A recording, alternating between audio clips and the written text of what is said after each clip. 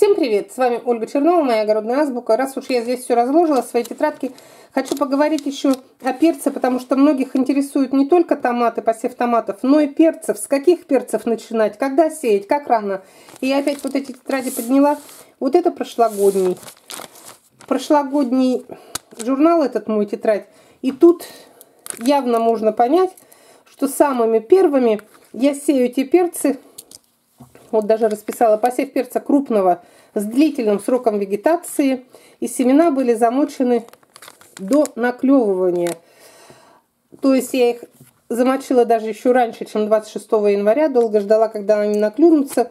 Делала это только за тем, чтобы точно знать, что я высаживаю те семянки, которые уже живые. И вот здесь, когда сею вот эти ранние посевы, пишу, что в первую очередь сею магазинные семена, от которых можно ожидать проблемы, чтобы успеть их пересеять.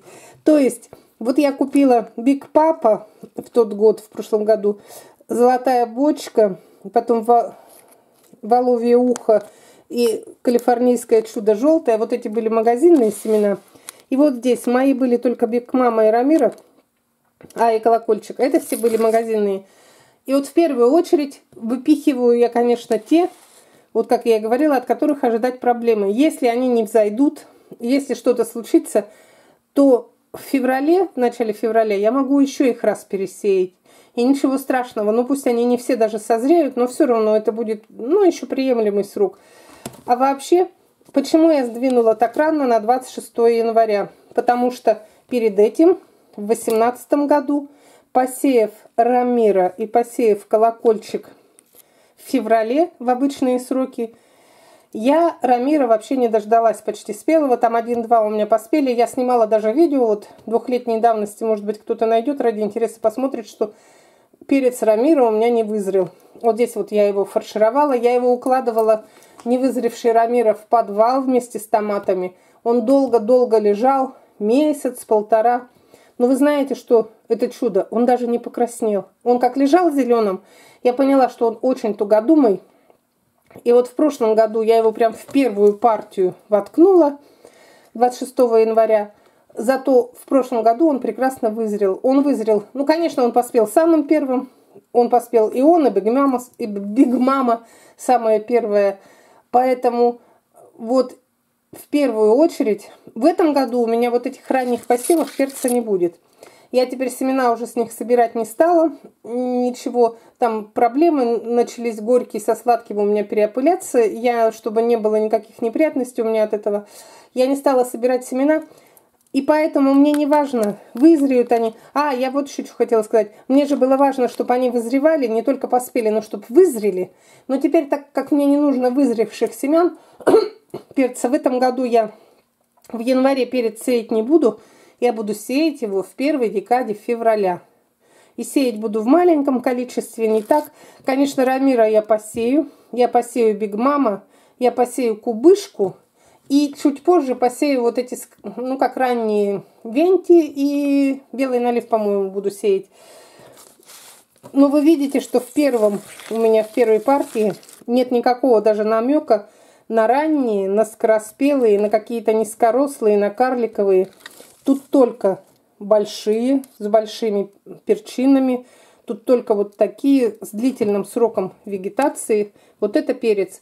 Начинаем, конечно, всегда с перца. Ну, я, по крайней мере, так делаю, и многие мои знакомые. Потому что перец, он больше, ему нужно больше времени для того, чтобы дать нам зрелые плоды. Ну и когда говорят, что он хорошо дозаривается, доспевает, мне все равно не нравится снятый зеленый из куста, когда он поспевает именно на, на материнских кустах. Мне кажется, у него больше аромата, больше у него вот этого вкуса, больше сочности. Когда укладываешь на дозаривание, некоторые перцы начинают как бы сморщиниваться, то есть они теряют влагу, немного подсыхают и делаются несочными. Для того, чтобы сочный, вкусный, сладкий поспел на, корне, на кустах, нужно пораньше сеять. Но я не говорю, это не обязательно 26 января. Это я уж так замахнулась для теплицы. Можно и начало февраля, и середина февраля. Но вообще я очень часто читаю, что до 15-18 февраля все посевы перца, вот таких вот, которые именно, нужно закончить для того, чтобы они успели вызреть. У них такой срок вегетации, что посеяв позже, они просто хотели бы, но они не успевают поспеть.